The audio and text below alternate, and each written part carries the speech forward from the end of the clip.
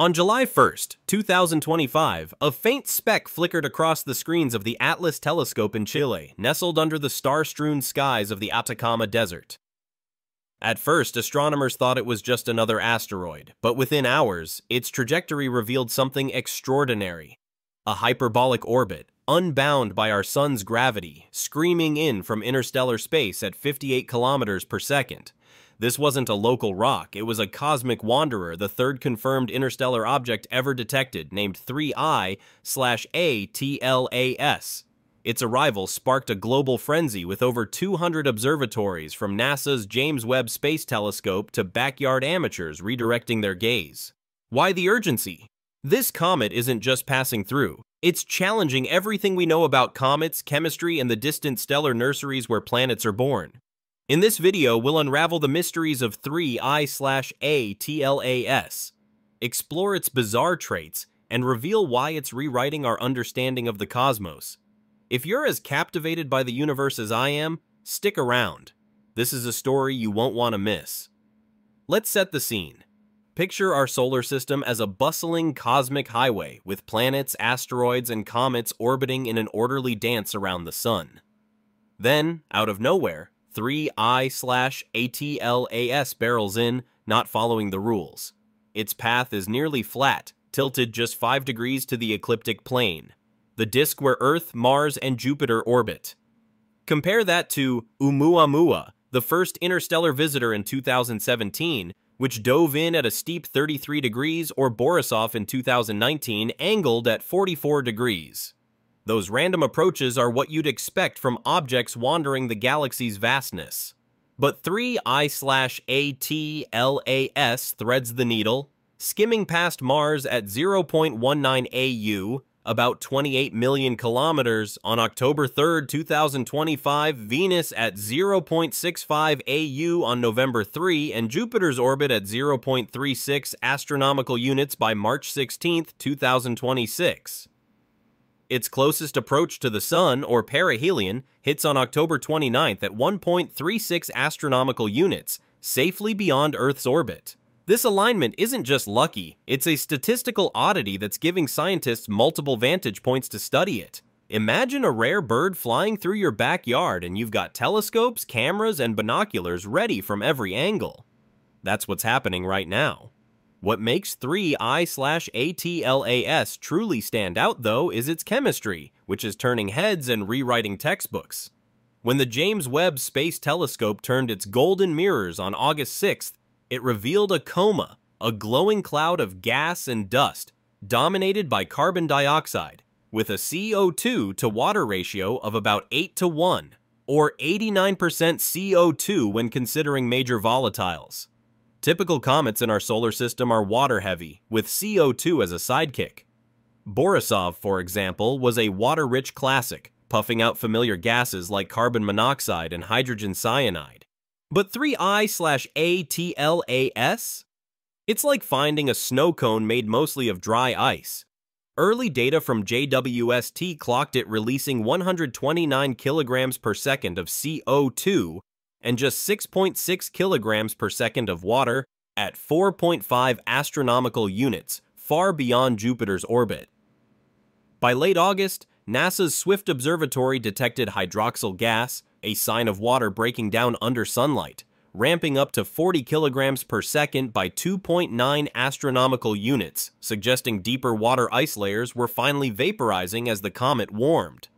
This layered structure hints at a formation far from its parent star, in a frigid zone where CO2 could freeze solid, perhaps billions of years ago, in a metal-poor stellar system. The surprises didn't stop there. The Very Large Telescope in Chile, scanning the coma in July, picked up strong nickel vapor emissions but barely any iron. In every comet we've studied, from Halley to Borisov, nickel and iron go hand in hand, forged together in supernovae and sublimating at similar temperatures. This decoupling is almost unheard of in nature. One theory suggests a carbon monoxide-rich environment at extremely low temperatures could form volatile nickel compounds leaving iron behind, but it's a stretch. Conditions like that are rare in the cosmos. On Earth, we separate nickel from iron using industrial processes like the Mond process for nickel carbonyl. Nobody's saying this comet was forged in a factory, but the parallel is eerie and demands more data. The comet's also depleted in carbon chain molecules like C2 and C3, which usually give comets their vibrant glow. Yet during a lunar eclipse on September 7, 2025, its coma shone a striking green, likely from cyanide or other rare emitters, not the usual carbon chains. It's like a cosmic puzzle where the pieces don't quite fit the picture we expected. Size is another head scratcher. Early brightness measurements suggested a nucleus up to 20 kilometers wide, a giant compared to Oumuamua's 200 meters or Borisov's 1 kilometer. But Hubble's July 21st images, combined with non-gravitational acceleration data, narrowed it to 0.32 to 5.6 kilometers, likely under 1 kilometer with the bright coma inflating its apparent size. Its low acceleration, about 15 meters per day squared, suggests a massive dense core resisting gas jet pushes, unlike Oumuamua's mysterious speed-up.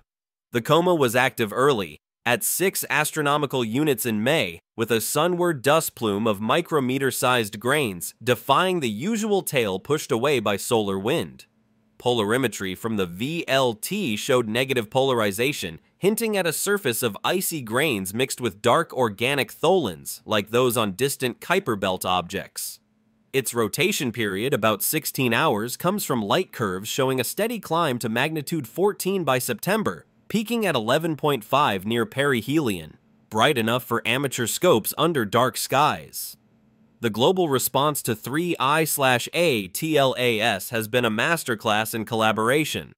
Over 200 observatories, from the Pan-STARRS in Hawaii to the Gemini South in Chile, have contributed thousands of measurements. NASA's Hubble and JWST broke their schedules for high-resolution spectra, while SPHEREx mapped a 348,000-kilometer CO2 coma. On October 3rd, Mars orbiters like NASA's Mars Reconnaissance Orbiter and ESA's ExoMars Trace Gas Orbiter snapped images from 28 million kilometers, potentially resolving the nucleus. ESA's JUICE spacecraft en route to Jupiter plans November observations with its spectrometers. Amateur astronomers are pitching in with astrometry, and upcoming stellar occultations, where the comet blocks background stars, will pin down its shape. A wild card? NASA's Juno probe orbiting Jupiter could theoretically intercept 3I/ATLAS in March 2026 if redirected by mid-September 2025. At tens of millions of kilometers, Juno's infrared and UV instruments could probe gas and dust, but fuel and risk calculations make it a long shot. Still, it sparked talk of a dedicated interstellar intercept mission, maybe a 200 kilogram spacecraft ready to launch on short notice. Misconceptions have swirled, especially after early speculation about artificial origins. A July 2025 arXiv paper by Avi Loeb's team noted the flat trajectory, initial lack of outgassing, and size as possible signs of an extraterrestrial probe echoing Oumuamua debates. But the data tells a different story. J, WST, and Swift confirmed classic cometary activity. Gas jets, dust plumes, no radio signals after SETI scans with Green Bank and FAST telescopes. The trajectory aligns with galactic disk dynamics, and the nickel-iron split fits rare chemical models. This isn't alien tech, it's an alien comet, formed in a stellar nursery unlike our own, possibly 3 to 14 billion years old. The lesson? Extraordinary claims need hard evidence, and 3I/ATLAS delivers natural wonders instead. If you're loving this cosmic detective work, hit that like button and share your thoughts below. What's the weirdest comet trait you've heard about? Why does 3I/ATLAS matter? It's a time capsule from another star carrying clues about planet formation in diverse environments. Its CO2 dominance suggests exoplanets in metal-poor systems might have unique atmospheres, tweaking where we search for life with JWST. Its dust properties inform spacecraft shielding for interstellar missions, and its volatile mix could guide future comet mining for water or fuel. The global scramble hones rapid response skills critical for planetary defense against rogue asteroids. With the Vera C. Rubin Observatory launching in 2026, we might spot dozens of ISOs yearly, making these campaigns routine. Each visitor shrinks the unknown, teaching us what's possible in nature as 3I slash ATLAS swings past the sun and vanishes into the galactic void, it leaves us with a richer view of the cosmos. From its odd chemistry to the teamwork chasing it, this comet reminds us how small we are, yet how far our curiosity reaches. What's next? Another interstellar guest, maybe stranger still? Subscribe for updates, share this with a fellow space nerd, and let's keep exploring the universe together.